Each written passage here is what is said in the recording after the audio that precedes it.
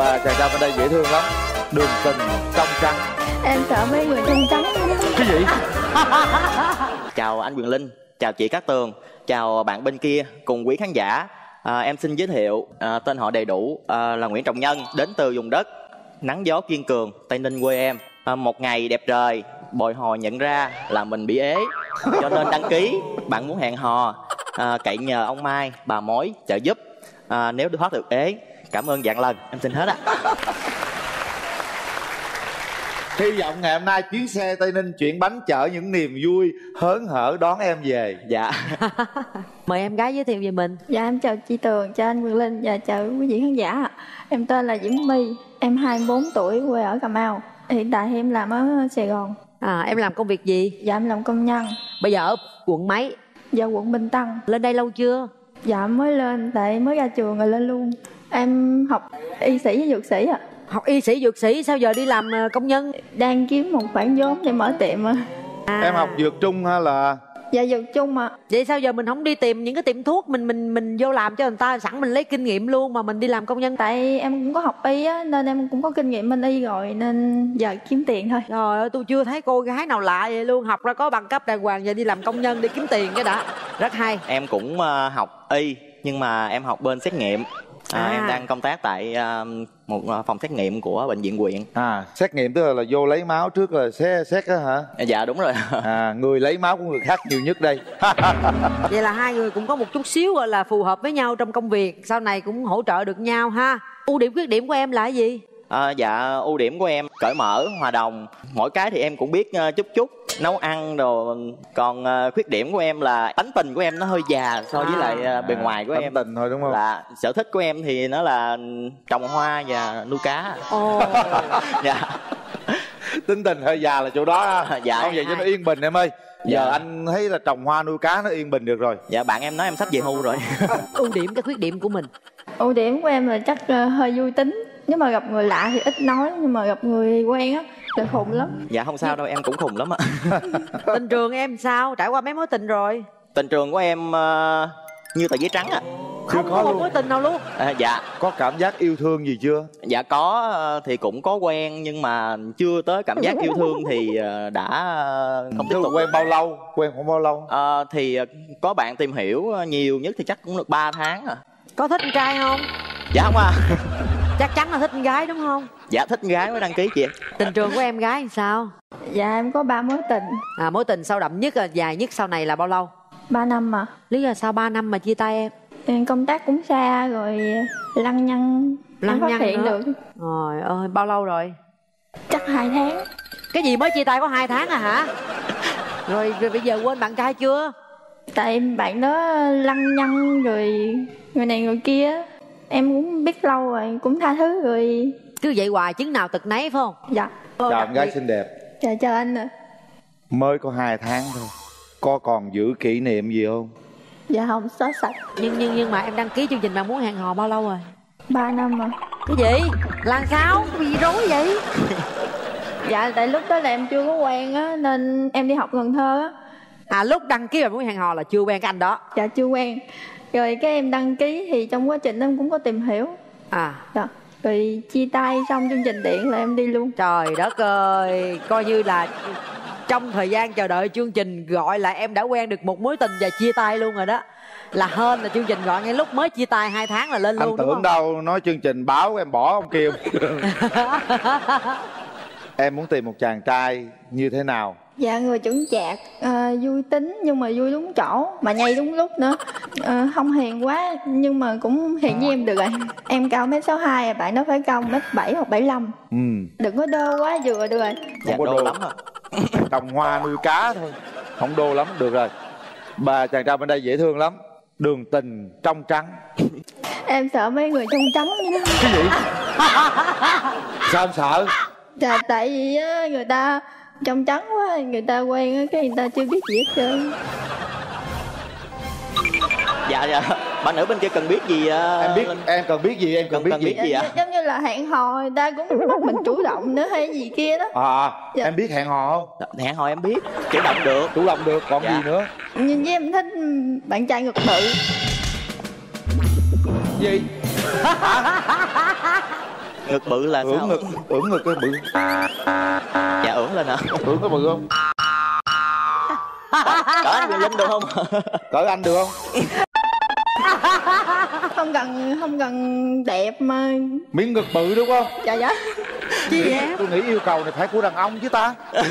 Ngực cực bự chi Không, vậy em? Dạ tại em thích gì đó. Thích. Dạ bụng đựng phệ quá. Không bụng thon lắm. Dạ dạ bụng cũng cỡ anh được không? Hấp hấp cũng vô được ạ. Cũng vô được đúng không? Nhưng mà có kinh nghiệm này nè. Dạ. Biết hung chưa? Dạ hung má được rồi. Hung má rồi đó rồi Dạ, vậy là dạ. chưa có kinh nghiệm rồi.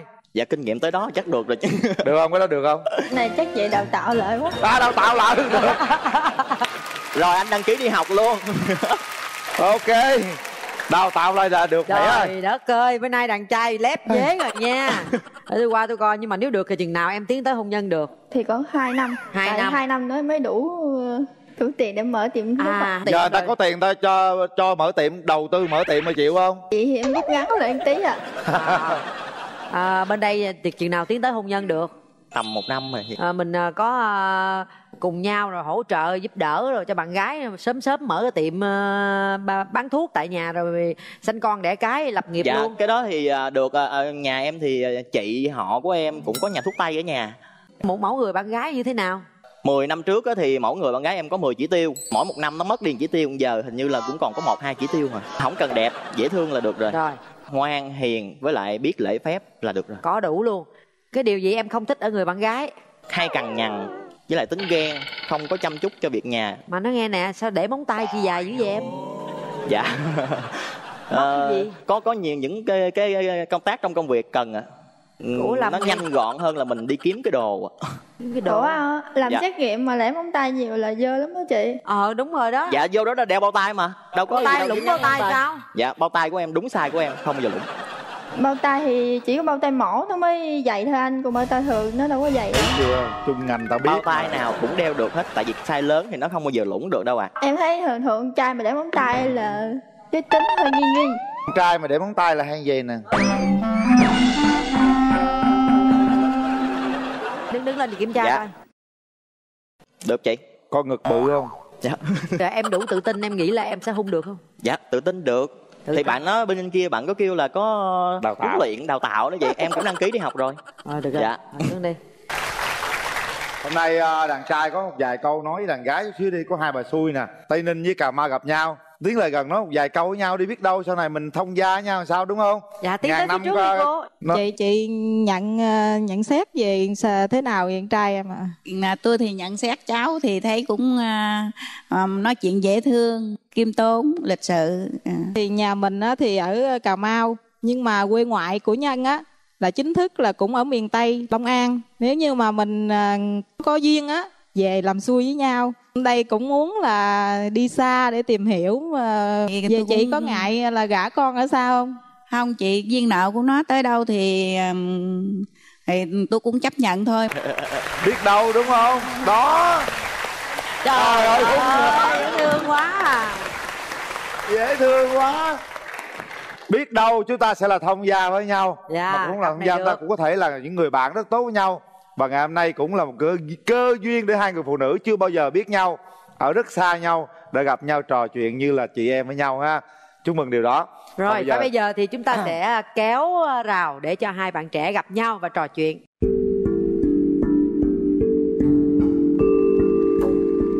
Anh có món quà gửi tặng em ha? Dạ cảm ơn anh ạ. À, sở thích lúc rảnh rỗi của em là làm cái gì vậy em hay chạy xe đi hóng gió mà bạn em chở mà tại em không có xe. Anh cũng thích đi hóng gió này có về thì anh về anh chở em đi hóng gió được. Rồi em có nhận xét gì à, về anh không? Hơi hiền tính tình chắc cũng kỹ. Nói chung là môi trường bệnh viện thì em cũng biết rồi phải kỹ thôi. Anh thấy em thế nào? Ừm, à, hồi hộp quá. em rất là xinh anh thấy là thấy thích. Nhân nhân em thấy ngực anh thế nào? À, em thấy đáp ứng đủ tiêu chuẩn của em không dạ chắc ờ, cũng hơi hơi. Nó chỉ hơi bự thôi chứ nó chưa bự. Ngực ưỡn ưỡn ngực ra nhớ trời ơi. Dạ anh ơi cái này có thể cắt được không? À, được cái Đúng này rồi. thì mình à, cái này thì bỏ được bình thường. Hai năm nữa thì à, có sao quá không? Anh tính một tại năm giờ em đang kiếm vốn á. Kiếm kiếm vốn là đó em kiếm một mình. Còn nếu mà kiếm hai mình thì rút ngắn lại được không? Giờ kiếm chồng mà kiếm vốn. Dạ cả hai bây giờ nếu như mà bạn bạn trai cho vốn thì có cưới sớm không? Có thì chắc sớm hơn một chút. Vốn vốn mở tiền số tay khoảng nhiêu? Dạ em chưa biết nữa. Ủa Trời ơi, sao, vậy sao em tính chứ. là hai năm? Em đi làm hai năm là em dạ làm nghĩ hai năm là sẽ đủ. Để vốn hai tiền năm số là tay theo em khoảng nhiêu em trai? Dạ tùy ờ, tùy theo quy mô thôi ạ. Tùy theo quy mô mình ờ, bán ở ờ, tỉnh hay ở huyện hay ở xã thôi. Ừ, thì nhưng, nhưng mà khoảng nhiêu? nói chung là khoảng tầm trăm triệu đổ lại trời dừa ơi à, không tới đâu. Anh thấy không tới em đâu. nghĩ là hơn á anh. Ờ, anh thấy không tới đâu nếu mà vì, kẹt quá ờ, sách bịch ra ngồi bán cũng được. Ờ, ở nhà thì cũng có tiền thuốc tay thì anh cũng ờ, hay hay chạy ra thì thấy cũng không không đến nỗi phải nặng vốn vậy đâu. Anh cho mình gối đầu được mà. Ừ. Bán thuốc tay mình gối đầu được ôi mà. vậy đơn giản rồi. Dạ. sao. Thì mình chỉ đầu tư cơ sở vật chất ban đầu thôi còn thuốc thì mình gối đầu được. Em định về quê bán đúng không? Dạ tại em cũng không thích sống ở thành phố. Dạ vậy chắc cũng phù hợp với lại sở thích về hưu của anh. Hai người gặp nhau được đấy nhưng mà về tây ninh hay là về cà mau? Dạ, em có làm dâu được không? Nói dạ chung được là, ạ nói chung là mẹ anh cũng không có yêu cầu làm dâu đâu nhưng mà tại vì trai lớn trong nhà thì nhà cửa cũng có sẵn rồi. Thì ờ, được thì tốt nhất là vậy thôi. Dạ em nghĩ là tính của em sẽ hợp. Tại em cũng biết lo lắng cho nhà nhưng bây giờ chưa tới chuyện đám cưới là còn năm hai năm nữa nè. Bây giờ hẹn hò đang ở xa thì từng hẹn gặp nhau được mấy lần để mà tìm hiểu mới rút nhanh mới cưới được chứ. Hàng tuần thì ờ, nếu mà không trực thì ờ, một tuần lễ em có thể xuống ờ, sài gòn được. Dạ thì hẹn hò cũng dễ không không không đến nỗi khó đâu ạ. Dạ. Anh nghĩ là em phải xuống nhiều hơn đó. Em làm ca đúng không? Em làm theo ca. Dạ em làm ca 12 tiếng dạ cực à, làm cực lắm à dạ lúc trẻ thì gán hả? Anh biết nhậu mà. Giao tiếp thì chắc là được anh ờ, rượu thì anh không không uống được nhiều. Em thích người uống nhiều. Trời đất ơi. cái này tập cũng được luôn nữa. Có thể là đi giao tiếp được nhưng mà tới chừng mực nào đó. Thì Dạ. đúng rồi anh nói là anh uống giao tiếp được thì ai giao tiếp với anh bao nhiêu thì anh giao tiếp dạ lại. vì anh giao tiếp thường thường mấy thùng mà. Trời ơi thì đối tượng giao tiếp với mình bao nhiêu thùng thì mình giao tiếp lại. Y hệt đó là thôi giao thôi tiếp thôi mà. không ẩu nha. Đối tượng uống chừng ba thùng là anh chết không có giao tiếp rồi nổi bạn đâu. gái uống được không? Em uống được không?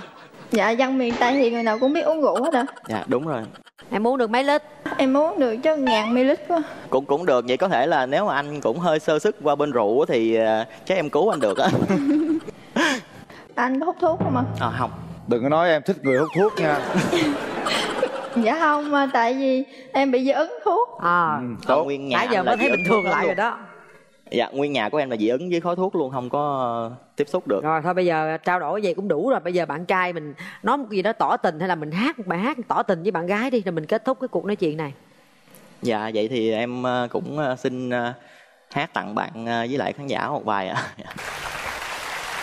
Nắm tay anh thật chặt giữ tay anh thật lâu hứa với anh một câu sẽ đi trọn tới cuối con đường. Đến khi tim ngừng đập và đôi chân ngừng đi thì em yêu ơi xin em hãy cứ tin. Làm như cái nghề của nó nó cũng giận như bài hát á. Đi vô mà thấy khám bệnh mấy người lấy máu cứ nắm tay vô thật chặt. Nó chặt để nó nổi gân lên nó lấy đúng không em? Dạ đúng rồi. Bây giờ để tay vào đây để tay vào đây hai, hai bà bà thông gia. hợp rồi đó. Gọi là tương lai cũng đã gặp nhau rồi cũng rất là yêu thương nhau hung nhau rồi. Giờ mình chờ hai nhỏ nó hung thôi. Đưa ra quyết định của mình sau 3 tiếng đếm. Một. Hai. Ba. Hết thời gian. Ủa em có bấm mà à. Rồi. Nắm tay nhau thật chặt nắm tay nhau thật lâu. Dạ. Dạ tại vì kỹ năng cũng non yếu thì con cũng xin phép cô. Dạ.